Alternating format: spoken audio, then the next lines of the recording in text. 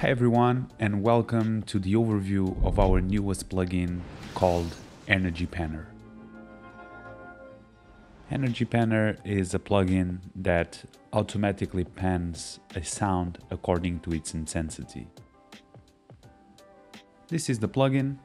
Here we have a sound to the left, it's its original point, and as the intensity of the sound increases, the sound will move from left to right. As the intensity decreases, the sound will go from right to left. Let's hear it.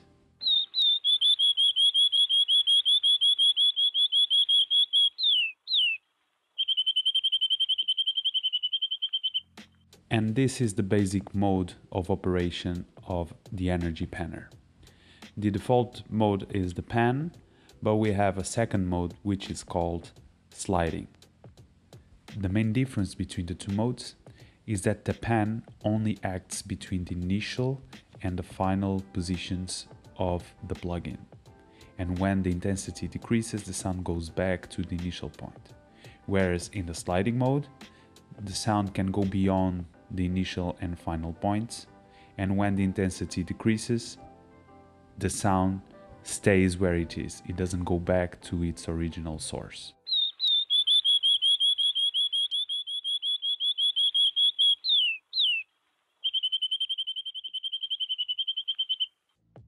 Now it's time to take a look at the controls of the plugin. Let us start with the threshold. The threshold is the parameter where you can control when the plugin acts on the sound.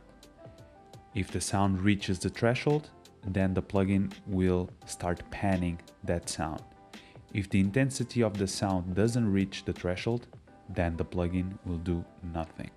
Then we have the ratio, which is basically where we can set how much panning or how harsh the panning will be when the threshold value is surpassed by the input sound.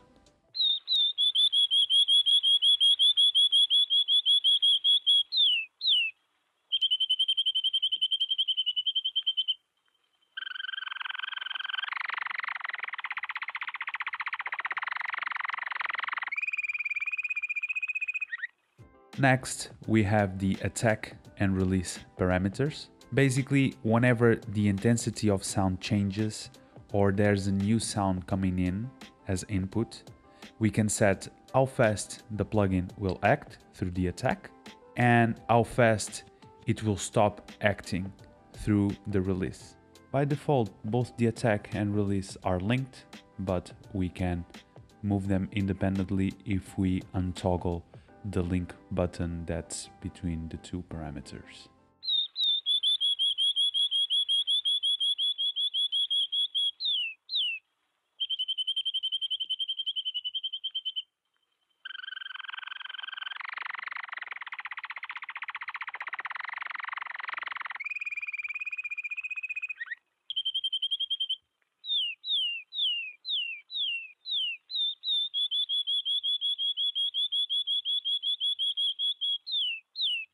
We can also hear out this sounds in the sliding mode.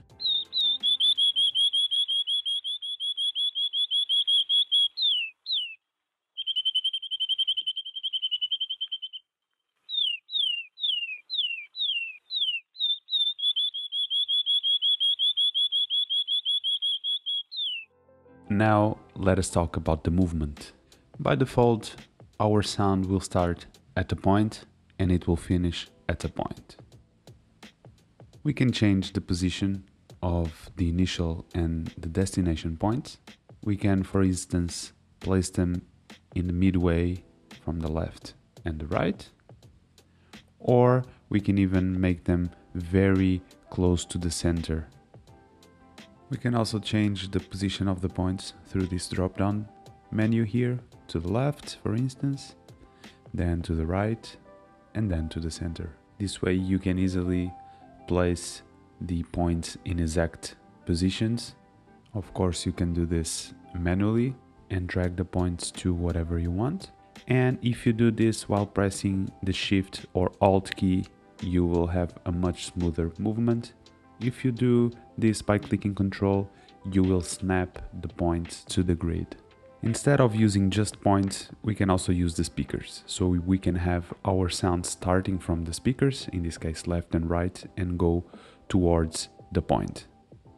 This way, instead of having the sound starting from a point to the left and go towards the right, as we had before, now we will have the sounds both from the left and the right side going towards the point which is in the center in this case.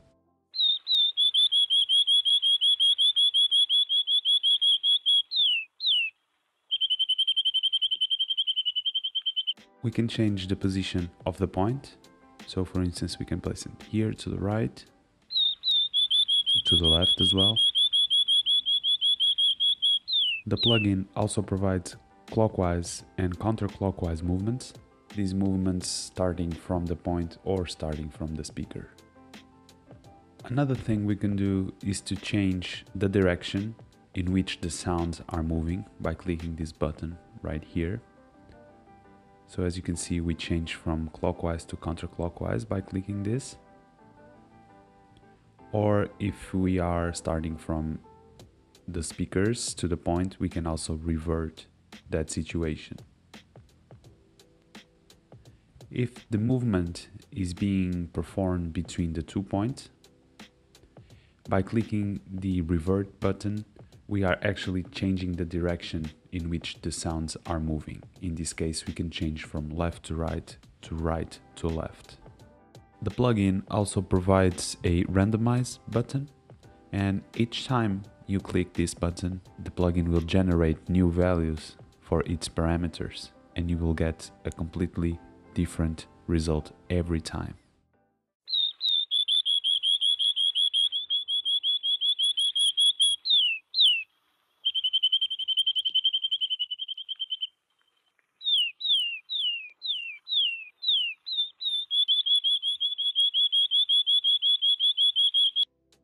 In order to show you how the sidechain works in the Energy Panner, I've added an extra file, which is basically a flamethrower looped, and this will be our sidechain signal. Up until now, it has been the canary file that we've been listening to that has been controlling the plugin.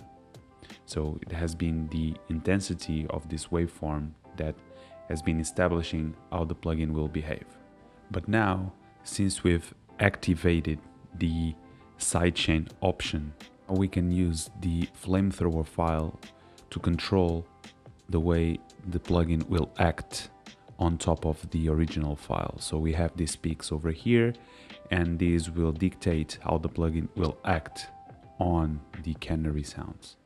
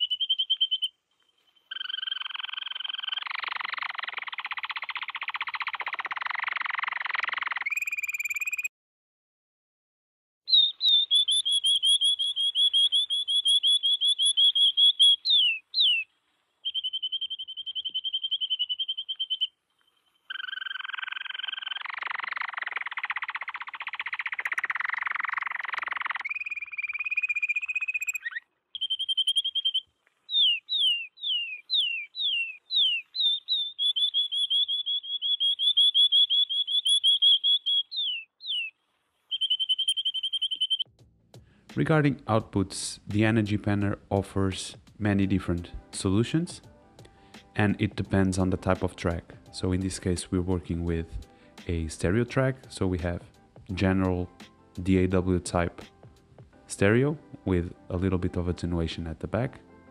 Then we also have XY, MS and Blumlein setups. These basically simulate the polar patterns of such setups. And we also use binaural audio For instance, if this was a 5.1 track, we will have the 5.1 and binaural options and the plugin again depending on the type of track offers 7.1 Dolby Atmos Ambisonics outputs. Up until now we have been working with audio files but the Energy Panner also works with MIDI. So I'll open a session with a MIDI track and I'll play some notes on a synthesizer and let's hear how these different examples sound.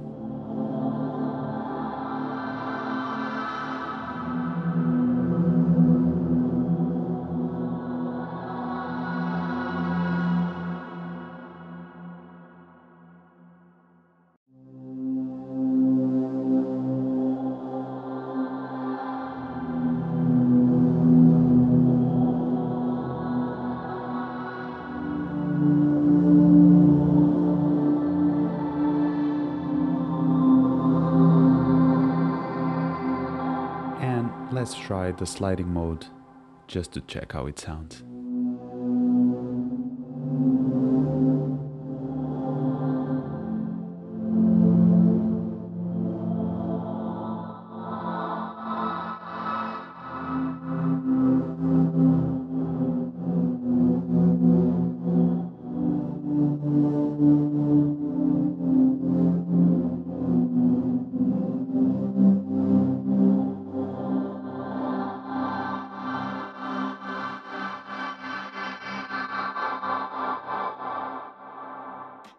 This is it. Thank you for watching. I hope you enjoyed this quick tutorial. Feel free to give us any feedback in the comments below. Send us an email if you prefer. The links to our website and other social media platforms are in the description of this video. Please feel free to follow us. And as always, it's a pleasure being here with you, showing our products to you, the artists. Thank you.